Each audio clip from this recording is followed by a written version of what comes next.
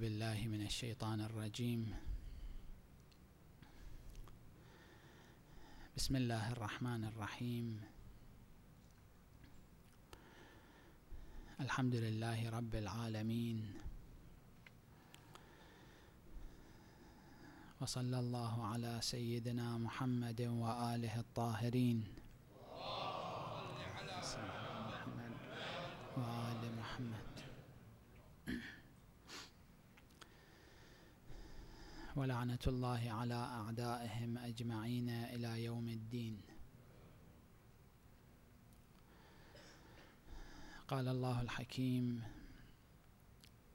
في محكم كتابه الكريم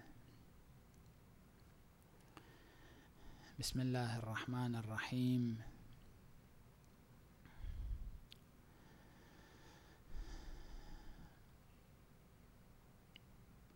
ربنا آمنا بما أنزلت واتبعنا الرسول. فاكتبنا مع الشاهدين. صدق الله العلي العظيم.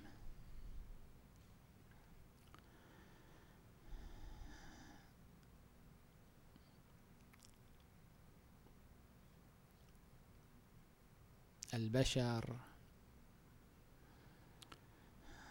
الذين مضوا.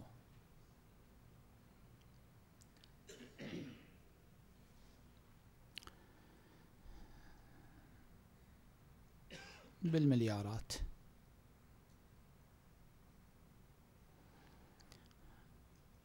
أضف عددهم إلى البشر الموجودين.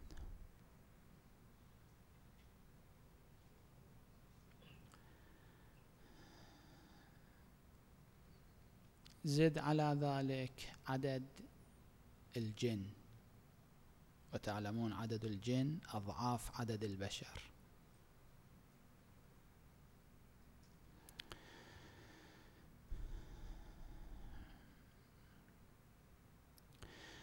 أضف على ذلك عدد الملائكة. وهو مليارات أضعاف البشر والجن. كم يكون المجموع؟ مليارات ومليارات المليارات. على نحو الضرب أقول لا على نحو الإضافة.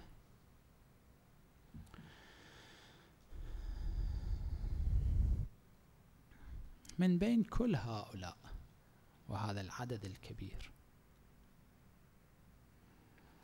لا يتمكن أحد أن يبين للبشر وللجن وللملائكة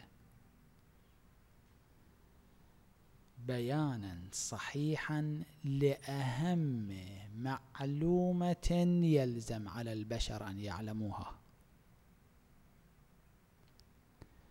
لا يتمكن أحد من هؤلاء أن يبين أهم وأخطر عقيدة يلزم أن يعرفها المكلفون من المخلوقات. وهي العقيدة بالتوحيد. لا يتمكن أحد من الملائكة والجن والبشر السابقين والموجودين.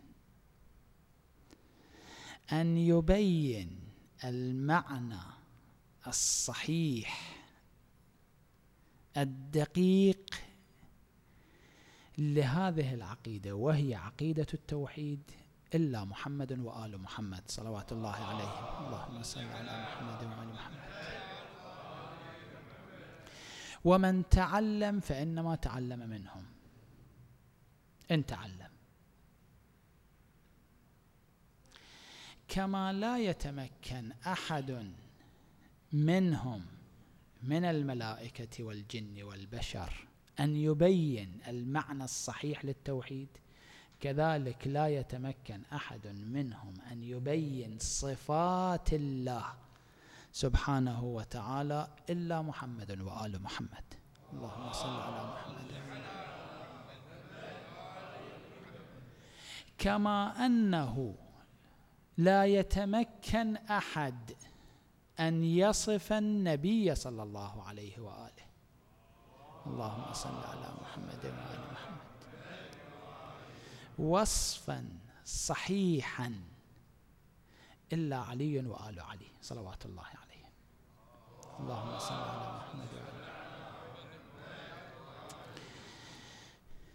هذه الأصول الثلاثة الأول من أصول الدين. الأصل الرابع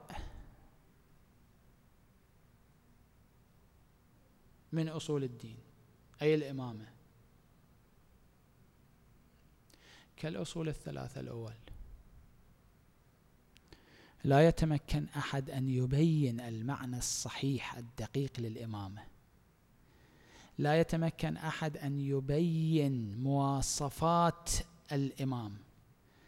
لا يتمكن أحد أن يبين صفات الأئمة الاثني عشر عليهم الصلاة والسلام إلا أمير المؤمنين سيد الأئمة وأولاده الطاهرون عليهم الصلاة والسلام.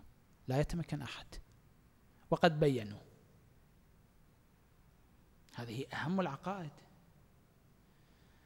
بينوا التوحيد في المئات من الأحاديث الشريفة. بينوا صفات الله في المئات من الأحاديث الشريفة.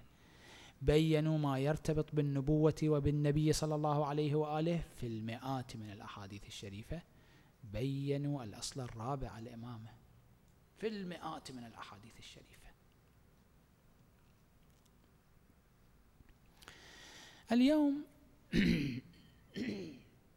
على ترتيبنا في الأسابيع الماضية أذكر لكم مقطعا من حديث شريف واحد عن المولى أمير المؤمنين عليه الصلاة والسلام. فيما يرتبط بالإمامة فيما يرتبط بمقام الأئمة عليهم الصلاة والسلام بمكانتهم بالتكليف الثقيل الذي جعله الله سبحانه وتعالى في أعناقهم. بما كان يجب عليهم وبما أدوا. هذا الحديث الشريف خطبة للمولى أمير المؤمنين عليه الصلاة والسلام خطبها في يوم غدير في إحدى سني حكمه الظاهري. هذه الخطبة الشريفة قرأت لكم في الأسبوع الماضي مقطعا منها فيما يرتبط بالنبي صلى الله عليه وآله. الإمام صلوات الله وسلامه عليه في هذه الخطبة في بداية الخطبة يحمد الله سبحانه وتعالى ويذكر وحدانية الله سبحانه وتعالى بالمعنى الدقيق بكلمات قصيرة ولكنها عميقة جدا. ذكر صفات الله سبحانه وتعالى. بعد ذلك ذكر ما يرتبط عن النبي صلى الله عليه وآله وهذا المقطع ذكرته في الأسبوع الماضي. ثم مباشرة بعد المقطع المرتبط بالنبي صلى الله عليه وآله مباشرة أمير المؤمنين عليه الصلاة والسلام عرج على قضية الإمامة. وعلى بعض ما يرتبط بالأئمة عليهم الصلاة والسلام مما ينبغي للمؤمن أن يعرفها بل يلزم على المؤمن أن يعرفها. قال صلوات الله وسلامه عليه في هذا المقطع وإن الله تعالى بعد ذكر النبوة يقول عليه الصلاة والسلام وإن الله تعالى جعل وإن الله تعالى اختص لنفسه أهل البيت عليهم الصلاة والسلام الله عز وجل اختصهم لنفسه. وإن الله تعالى اختص لنفسه بعد نبيه صلى الله عليه وآله من بريته خاصة علاهم بتعليته وسما بهم إلى رتبته وجعلهم الدعاة بالحق إليه والأدلاء بالإرشاد عليه. لقرن قرن وزمن زمن. أنشأهم في القدم قبل كل مذروء ومبروء. أنوارا أنطقها بتحميده وألهمها بشكره وتمجيده. وجعلها الحجج على كل معترف له بملكوت الربوبية. وسلطان العبودية. واستنطق بها الخرسات بأنواع اللغات بخوعا له بأنه فاطر الارضين والسماوات وأشهدهم خلقه وولاهم ما شاء من أمره جعلهم تراجم مشيته. وألسن إرادته. عبيدا لا يسبقونه بالقول وهم بأمره يعملون. يعلم ما بين أيديهم وما خلفهم ولا يشفعون إلا لمن ارتضى وهم من خشيته مشفقون. يحكمون بحكمه يحكمون بأحكامه ويستنون بسنته ويعتمدون حدوده ويؤدون فروضه. في مقطع آخر من هذه الخطبة الشريفة الرائعة. العميقة المضمون العظيمة المعاني يقول المولى عليه الصلاة والسلام. ولا يقبل يعني الله عز وجل ولا يقبل توحيده إلا بالاعتراف لنبيه صلى الله عليه وآله بنبوته. ولا يقبل دينا إلا بولاية من أمر بولايته. ولا تنتظم أسباب طاعته إلا بالتمسك بعصمه وعصم أهل ولايته. فأنزل على نبيه صلى الله عليه وآله في يوم الدوح يعني في يوم الغدير. ما بين به عن إرادته في خلصائه وذوي اجتبائه. ثم بعد ذلك بمقطع يكمل قضية يوم الدوح يوم الغدير يقول صلوات الله وسلامه عليه وأكمل الله دينه وأقر عين نبيه والمؤمنين والمتابعين. وكان ما قد شهده بعضكم وبلغ بعضكم وتمت كلمة الله الحسنى على الصابرين. ودمر الله ما صنع فرعون وهامان وقارون وجنودهم وما كانوا يعرشون. دقائق. عند هذه الكلمات النورانية نتوقف عند هذه الكلمات. بعض الشيء هذه الكلمات بحاجة إلى وقفات ووقفات بحاجة إلى فترات وفترات بحاجة إلى كتب وكتب. هذه الخطبة لوحدها تحتاج إلى شرح كتب من علماء كبار. وقفة سريعة عند هذه الكلمات عند بعض هذه الكلمات. يقول صلوات الله وسلامه عليه وإن الله تعالى اختص لنفسه اختص لنفسه يعني ماذا؟ كل الخلائق خلائق الله. هذه الكلمة في كتب في التفاسير تفاسير القرآن الكريم لها شرح شرحوها في التفاسير بمناسبة آية. وإن الله تعالى اختص لنفسه بعد نبيه صلى الله عليه وآله من بريته خاصة.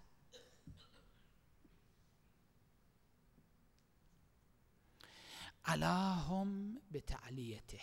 كلما رفع رسول الله صلى الله عليه وآله رفع هؤلاء. علاهم الله عز وجل علاهم بتعليته بتعلية النبي صلى الله عليه وآله. مع النبي صلى الله عليه وآله. كلما كان النبي صلى الله عليه وآله يرفعه الله سبحانه وتعالى يرفع معه أهل البيت عليهم الصلاة والسلام. علاهم بتعليته. وسما بهم إلى رتبته. وجعلهم الله عز وجل جعل أهل البيت عليهم الصلاة والسلام الدعاة إليه. إليه يعني من؟ يعني إلى رسول الله صلى الله عليه وآله. من الذي يدعو إلى رسول الله؟ دعوة حقيقة. الدعوة الحقيقة وجعلهم الدعاة بالحق إليه. دعاة بالحق. دعاة بالصدق. دعاة واقعيون. من هم؟ الله عز وجل جعل أهل البيت الدعاة بالحق إليه إلى رسول الله.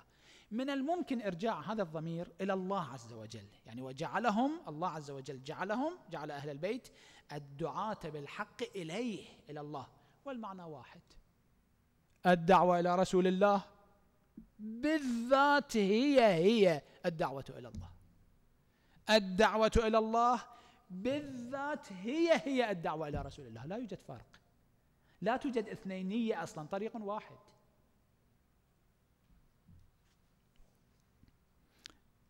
دائما الحق واحد. الباطل كثير.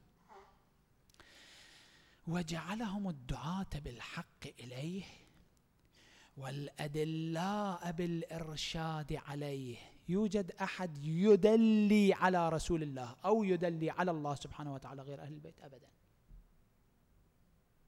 الذي يدلي الأدلاء بالإرشاد عليه على رسول الله أو على الله سبحانه وتعالى. هم أهل البيت عليهم الصلاة والسلام. لقرن قرن وزمن زمن. هذا يحتاج إلى وقفة. كل واحد من أهل البيت عليهم الصلاة والسلام له فترة محددة. الإمام الصادق عليه الصلاة والسلام في فترته له دور خاص لا يؤديه إلا الإمام الصادق. لا يمكن أن يؤدي هذا الدور الإمام الباقر ولا يمكن أن يؤدي هذا الدور الإمام الكاظم. الإمام زين العابدين عليه الصلاة والسلام له دور معين هذا الدور لا يؤديه سيد الشهداء ولا يؤديه الإمام الباقر. كل واحد من المعصومين له دور لا أنه لا يتمكن كل المعصومين يتمكنون. يتمكنون أن يؤدوا كل الأدوار. ولكن هذا ترتيب الله سبحانه وتعالى. هذه القضية قضية تكتمل شيئا فشيئا. فكل واحد منهم له دور محدد. لا يمكن أن يؤديه الإمام السابق ولا الإمام اللاحق. لقرن قرن وزمن زمن. من هنا تبدأ الصراحة. المؤمنين عليه الصلاة والسلام من هنا يبدأ كلمات بعض المؤمنين لا يتحملون لا أقول الآخرون بعض المؤمنين لا يتحملون. واقع. نريد أن نقبل. لا نريد أن نقبل. هذا واقع. هذا ورد في كلام المولى أمير المؤمنين وورد في كلماتهم وكلماتهم. يقول عليه الصلاة والسلام وأشهدهم خلقه. الله سبحانه وتعالى. عفوا قبل هذا. وأنشأهم. الله سبحانه وتعالى جعل أهل البيت هذا هؤلاء. أنشأهم في القدم قبل كل مذروء ومبروء. الله عز وجل خلق أهل البيت عليهم الصلاة والسلام في القدم. هذه كلمة جدا عجيبة. تحتاج إلى توقف. يعني ماذا؟ فقط إشارة أقول. القدم يعني قبل الزمن. يعني الله عز وجل خلق أهل البيت أول ما خلق. حتى قبل الزمن. هذا يحتاج إلى تفسير. أنشأهم في القدم قبل كل مذروء ومبروء قبل أن يخلق أي شيء. الله عز وجل خلق أهل البيت. كيف خلقهم؟ أنوارا.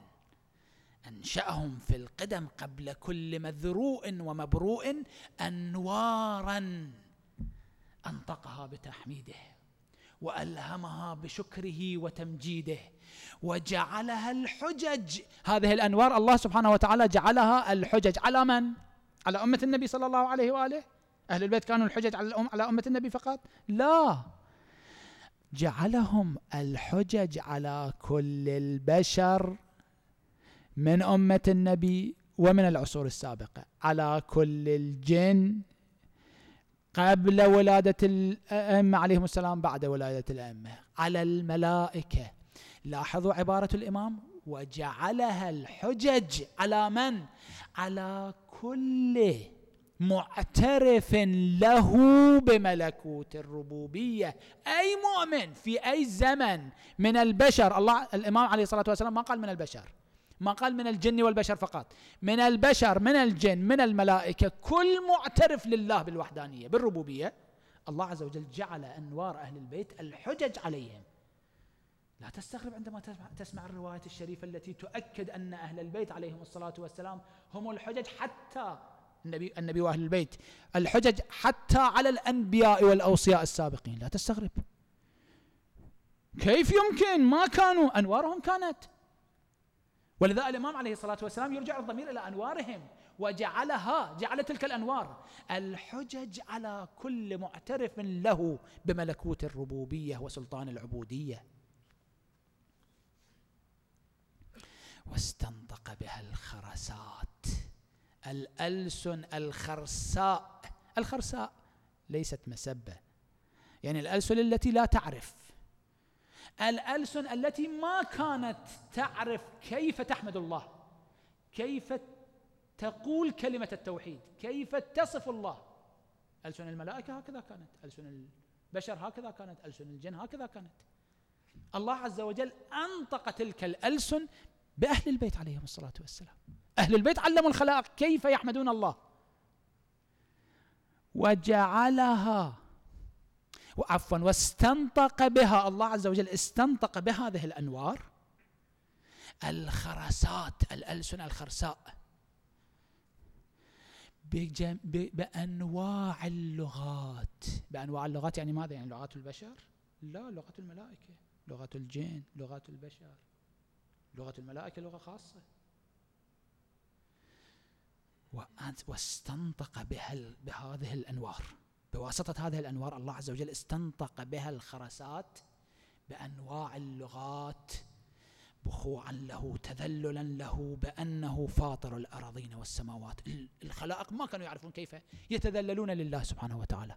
أهل البيت علموهم إذا كان النور أمير المؤمنين معلما لجبرائيل في بداية خلق. جبرائيل كيف يذكر الله سبحانه وتعالى وكيف يخاطب الله سبحانه وتعالى؟ فلا تستغرب أن يكون معلما لباقي الملائكة وأن يكون معلما لباقي الجن وأن يكون معلما لباقي البشر.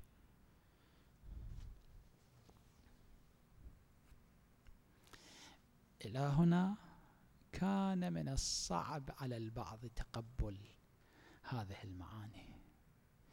منها هنا فبعد خلاص جلطة. جلطة. البعض يصاب العبارة التالية تصيب البعض بجلطة. لا جلطة في القلب جلطة في المعرفة. انفجار في الشرايين. لا انفجار في شرايين القلب انفجار في شرايين المعرفة في شرايين الروح. حتى لو أصيب أحد. واقع هذا. وأشهدهم خلقه. الله سبحانه وتعالى عندما كان يريد أن يخلق مخلوقا جعل أنوار أهل البيت جعل أهل البيت شهودا. عندما خلق السماوات جعل أهل البيت شهودا على خلق السماوات. عندما خلق الأراضين جعل أهل البيت شهودا على خلق الأراضين. عندما خلق البشر عندما خلق الملائكة عندما خلق الجن عندما خلق الجمادات عندما خلق النباتات جعل أهل البيت شهودا على كل المخلوقات وأشهدهم خلقه.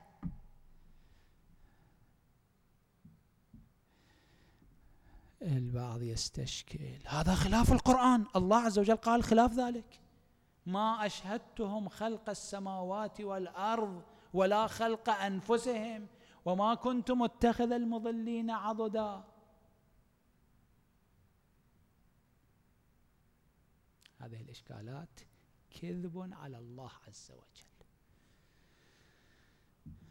أين الله عز وجل قال ما أشهدت أحدا من مخلوقاتي في خلق السماوات والأرض؟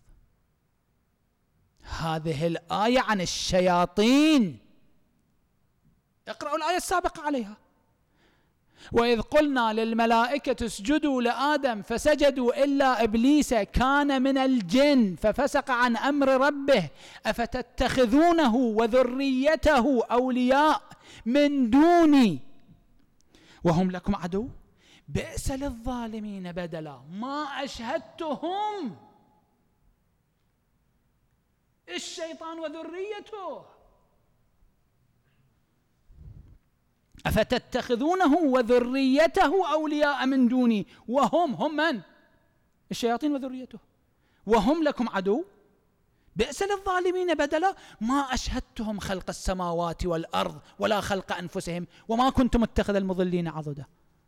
أين قال الله عز وجل أنا ما أشهدت أي مخلوق في خلق السماوات والأرض؟ أين قال؟ لماذا تنسبون إلى الله سبحانه وتعالى ما لم يقل؟ كذب على الله هذا.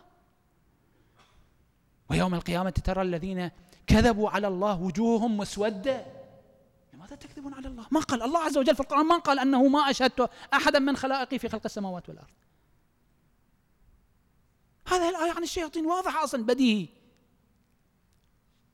ما أشهدتهم الشياطين. الشيطان وذريته ما أشهدتهم خلق السماوات والأرض. أهل البيت عليهم الصلاة والسلام القرآن يسميهم الشاهدين. ربنا آمنا بما أنزلت واتبعنا الرسول فاكتبنا مع الشاهدين. كما الآية جميلة ورائعة. ربنا آمنا. فاكتبنا مع من؟ مع المؤمنين. لا فاكتبنا مع الشاهدين. يعني ماذا؟ إلهنا أنت أنزلت ولاية أهل البيت. وبين ذلك أمير المؤمنين. نحن آمنا بذلك. ربنا آمنا بما أنزلت من ولاية أمير المؤمنين. ربنا آمنا بما أنزلت. والنبي بين واتبعنا الرسول. فاكتبنا مع الشاهدين مع هؤلاء الذين جعلتهم شاهدين على خلق السماوات والأرض شاهدين على خلق خلق البشر شاهدين على خلق الجن. هؤلاء أهل البيت رسول الله وأهل البيت عليهم الصلاة والسلام اجعلنا معهم لأننا آمنا بهم. هذه الآية المباركة ذهبتم وتشرفتم إلى زيارة المولى سيد الشهداء عليه الصلاة والسلام. عندما تريد أن تودع الإمام صلوات الله وسلامه عليه. تقرأ الوداع وكم الوداع صعب حقا تودع سيد الشهداء عليه الصلاة والسلام بعبارات واردة عن الإمام الصادق عليه الصلاة والسلام. كثير منكم قرأتم هذه العبارات. عندما تريد أن تخرج تودع ترجع إلى بلدك. ماذا تقول للإمام سيد الشهداء عليه الصلاة والسلام؟ في في الوداع هذه الآية موجودة. في وداع الإمام الحسين عليه الصلاة والسلام. تقول له السلام عليك ورحمة الله وبركاته. هنيئا لزوار سيد الشهداء اليوم. لعل بعضهم يقرؤون هذه العبارة. تقول له السلام عليك ورحمة الله وبركاته. أستودعك الله وأقرأ عليك السلام. ربنا آمنا بما أنزلت واتبعنا الرسول فاكتبنا مع الشاهدين. هذه الآية المباركة. ثم يقول الإنسان اللهم لا تجعله آخر العهد منا ومنه. اللهم إني أسألك أن تنفعنا بحبه. عبارة عن الإمام الصادق وارد تحفظونها. بعضكم لعله يحفظ هذه العبارة. في وداع الإمام سيد الشهداء. تقرأ هذه الآية. في وداع أمير المؤمنين عليه الصلاة والسلام تقرأ هذه الآية. في الزيارة الجامعة الكبيرة. آخر مقطع الذي يقرأ الزيارة الجامعة بدقة يعرف المقطع الأخير من الزيارة الجامعة. وداع طريقة وداع. يعني تختلف الطريقة عن المقاطع السابقة. بداية الوداع. بداية هذا المقطع الأخير من الزيارة الجامعة. هذه الآية. ربنا آمنا بما أنزلت واتبعنا الرسول فاكتبنا مع الشاهدين. فاكتبنا مع الشاهدين هؤلاء؟ هؤلاء شاهدون شاهد نعم شاهد شاهد على كل شيء.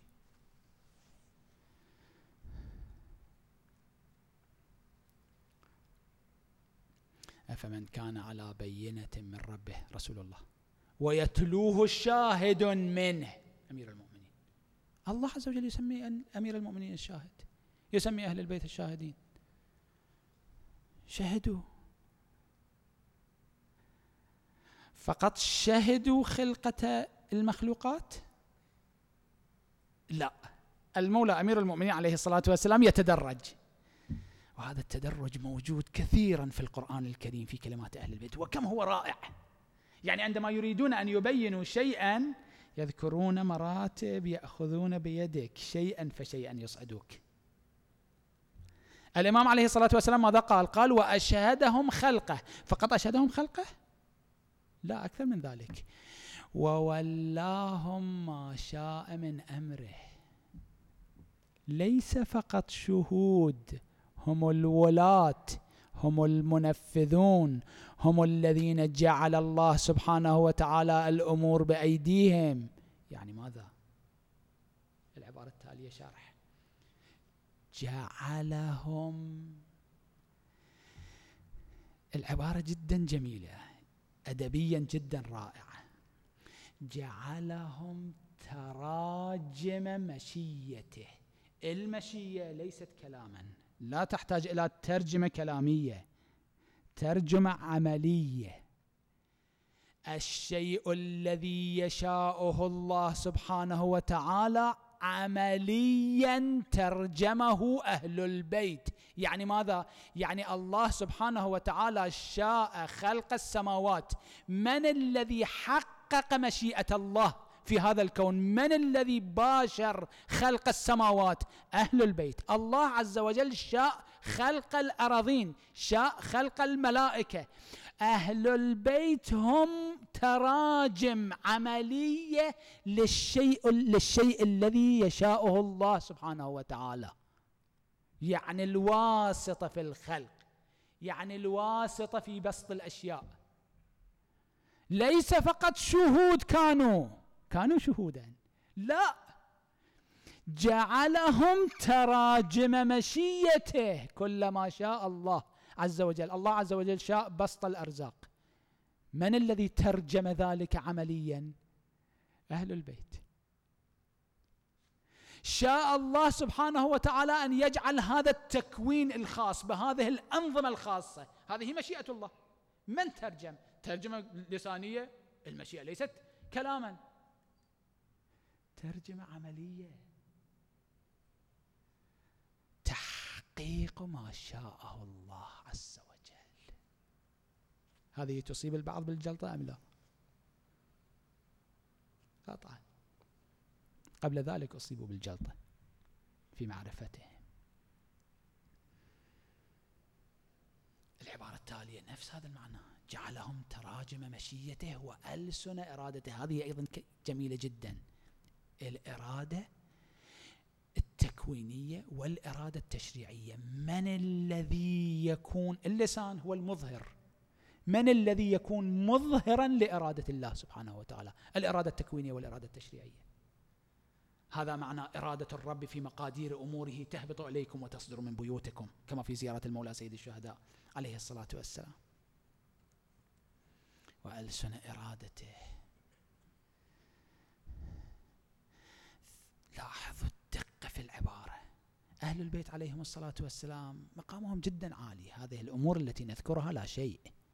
ولكن باعتبار عقول البشر محدودة عندما كانوا يبينون هذه الأمور فورا كانوا يعرجون يبينون أنهم عبيد لله. لا تتصور أيها الشيعي لكي لا ينحرف بعض الشيعة والعياذ بالله تعالى لا يغالون. لا تتصور أيها الشيعي أننا قلنا هذا الكلام نحن آلهة مع الله أبدا. لاحظوا مباشرة الإمام يقول جعلهم تراجم مشيته وألسن إرادته عبيدا. نحن عبيد لله. عبيدا لا يسبقونه بالقول وهم بأمره يعملون. لا في القول لا في العمل. لا يسبقونه بالقول وهم بأمره يعملون. نحن خلقنا السماوات خلقنا الأراضين خلقنا البشر خلقنا الجن خلقنا الملائكة كل ذلك بأمر من الله عز وجل. لسنا آلهة مع الله نحن عبيد. الله عز وجل أعطانا. الله عز وجل كلفنا. عبيدا لا يسبقونه بالقول وهم بأمره يعملون. يعلم ما بين أيديهم وما خلفهم ولا يشفعون إلا لمن ارتضى. وهم من خشيته مشفقون. يحكمون بأحكامه ويستنون بسنته ويعتمدون حدوده الأطر التي جعلها لهم. ويعتمدون حدوده ويؤدون فروضه. ثم بعد ذلك صلوات الله على أمير المؤمنين يقول في مقطع آخر يقول ولا يقبل الله عز وجل لا يقبل توحيده إلا بالاعتراف لنبيه صلى الله عليه وآله بنبوته ولا يقبل دينا أي دين إلا بولاية من أمر بولايته. حكمة الله اقتضت. تقبل؟ لا تقبل. طبعا نحن نقبل إن شاء الله. الذي لا يقبل لا يقبل ليس مهما هذا واقع. هذه حكمة الله. ولا يقبل دينا إلا بولاية من أمر بولايته. شخص يقول أنا أعبد الله في المسجد كذا. والبعض كان الزهاد فلان الزاهد في التاريخ موجودون. بعض الزهاد الثمانية بعضهم بعضهم كانوا مؤمنين. وبعضهم ما كان مؤمنا يريد أن يتعبد تعبد إلى يوم القيامة. فلس لا تسوى هذه العبادة. ولا تنتظم أسباب طاعته إلا بالتمسك بعصمه وعصم أهل ولايته. تريد أن تعبد تريد أن تسجد في المسجد مئات السجدات. صل في اليوم والليلة عشرة آلاف ركعة. ليس مهمة أسباب عبادة طاعة الله لا تنتظم إلا بالطريق هذا. فلان ربيع يسمى خاجة ربيع أطراف مشهد. زاهد! من الزهاد والبعض من المؤمنين لا يعرفون يذهبون إلى زيارته لا يعرفون من هو. زاهد! في إحدى الحروب حروب أمير المؤمنين قال يا أمير المؤمنين أنا لا أتمكن أن أقتل المسلمين أذهب اذهب. ذهب. ذهب لكي لا يقاتل بين يدي أمير المؤمنين لأن الطرف الآخر مسلم. وبعد سنوات استشهد الإمام الحسن أصلا ليس مهما عنده. سمع قضية الإمام الحسين استشهاد سيد الشهداء بتلك, الطريقة المفجعة. حتى ما لعن قتلة الحسين. يا أخي السماوات والأراضون لعنت قتلة الحسين. رسول الله صلى الله عليه وآله لعن قتلة الحسين. الأنبياء لعنوا قتلة الحسين. الملائكة لعنوا قتلة الحسين. الله عز وجل لعن قتلة الحسين. أنت أتقى من رسول الله؟ لاحظوا الجهل. لا أنا زاهد أنا متعبد في زاوية. انظر في يوم القيامة من يأخذ بيدك؟ ولا تنتظم أسباب طاعته إلا بالتمسك بعصمه وعصم أهل ولايته. فأنزل الله عز وجل على نبيه صلى الله عليه وآله في يوم الدوح يوم الدوح من أسماء يوم الغدير. الكميت هذا الشاعر العبقري العظيم الشهيد رضوان الله تعالى عليه. قرأ قصيدته في محضر الإمام الباقر عليه الصلاة والسلام. قصيدته مشهورة ويوم الدوح يوم غدير خم عفوا ويوم الدوح دوح غدير خم. أبان له الولاية لو أطيع. ولكن الرجال تبايعوها فلم أر مثلها خطرا منيعا أو مبيعا البعض يقول. يقولون المولى أمير المؤمنين عليه الصلاة والسلام رؤي في عالم الرؤيا طلب أن تقرأ هذه الأبيات. فلما قرأ ويوم الدوح يوم غدي دوح غدير خم أبان له الولاية لو أطيع أضاف الإمام أمير المؤمنين بيتا مؤلما. قال أضاف إلى هذه القصيدة المولى أمير المؤمنين. قال ولم أرى مثل ذاك اليوم يوما ولم أرى مثله حقا أضيع من أسماء يوم الغدير يوم الدوح. فأنزل على نبيه صلى الله عليه وآله في يوم الدوح في يوم الغدير ما بين به عن إرادته في خلصائه وذوي اجتبائه إلى أن يقول صلوات الله عليه وأكمل الله دينه اليوم أكملت لكم دينكم. وأقر عين نبيه صلى الله عليه وآله والمؤمنين والمتابعين. وكان ما قد شهده بعضكم. بعض الحضار كان من أصحاب النبي كان موجودا في يوم الغدير شهد. وكان ما قد شهده بعضكم وبلغ بعضكم. وتمت كلمة الله الحسنى على الصابرين. ودمر الله الله عز وجل بتعيين أمير المؤمنين دمر. ودمر الله ما صنع أو ما كان يصنع في بعض النسخ. ما صنع فرعون وهامان وقارون وجنودهم وما كانوا يعرشون. كم العبارة هذه دقيقة في التشبيه. فلان وفلان وفلان اقرأوا حياتهم. بالضبط مثل فرعون وهامان وقارون. اقرأوا حياة فرعون واقرأوا حياة فلان. اقرأوا حياة هامان واقرأوا حياة فلان. اقرأوا حياة قارون واقرأوا حياة فلان. ودمر الله ما صنع أو ما كان يصنع فرعون وهامان وقارون وجنودهم وما كانوا يعرشون. اليوم طبعا هذه العبارة تحتاج إلى شرح هذه الخطبة تحتاج إلى شرح. روايات أمير المؤمنين في الإمامة ليست واحدة وثنتين بالمئات في نهج البلاغة فقط أخذ نهج البلاغة فقط في نهج البلاغة مئات من الروايات من المقاطع الشريفة عن قضية الإمامة عن الأئمة عليهم الصلاة والسلام. اليوم يوم عرفة. يوم عرفة طبعا تعلمون يوم مميز. أهم ما في أعمال يوم عرفة من المستحبات زيارة المولى سيد الشهداء. صلوات الله وسلامه عليه هنيئا لزوار الحسين.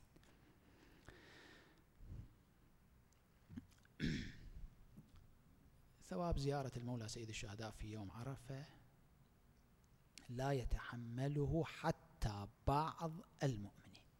عجيب جدا. من بين زيارات سيد الشهداء عليه الصلاة والسلام زيارتان مميزتان إحداها زيارة عرفة. ثوابها لا يتحمل من قبل بعض المؤمنين حتى.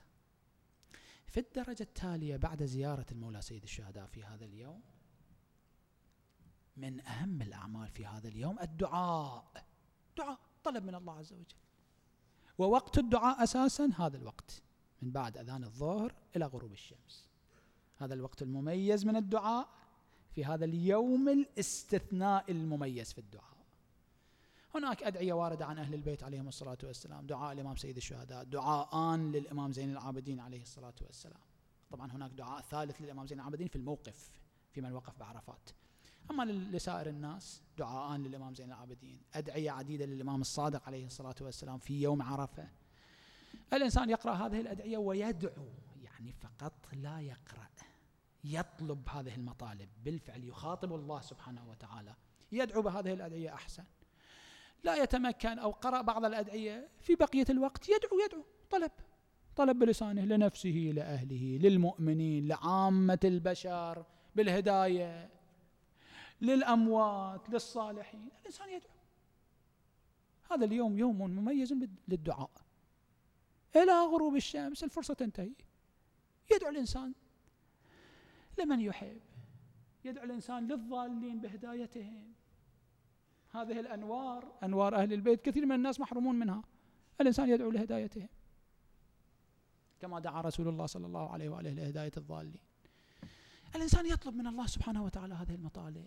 هذا اليوم يوم للمطالب. نسأل الله سبحانه وتعالى بحق الإمام الحسين ببركات الإمام سيد الشهداء عليه الصلاة والسلام. أسأل الله سبحانه وتعالى بحق زوار الإمام الحسين عليه الصلاة والسلام أن يجعلنا من زوار الإمام الحسين.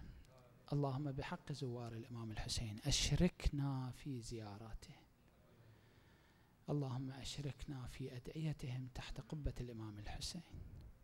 اللهم أشركهم في أعمالنا.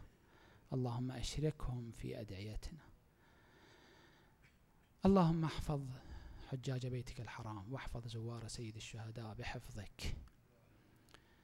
اللهم تقبل أعمالهم استجب أدعيتهم أرجعهم إلى أهاليهم سالمين إلى سالمين وغانمين إلى غانمين لا فاقدين ولا مفقودين. اللهم بحق محمد وآل محمد عجل فرج مهدي آل محمد. اللهم صل على محمد وآل محمد. اللهم أعطه في نفسه وذريته وشيعته ورعيته وخاصته وعامته وعدوه وجميع أهل الدنيا ما تقر به عينه وتسر به نفسه وبلغه أفضل ما أمله في الدنيا والآخرة. إنك على كل شيء قدير والحمد لله رب العالمين. وأنا أيضا أسألكم الدعاء في هذا اليوم وإن شاء الله لا أنساكم من الدعاء. والحمد لله رب العالمين وصلى الله على سادة الخلق محمد وآله الطاهرين.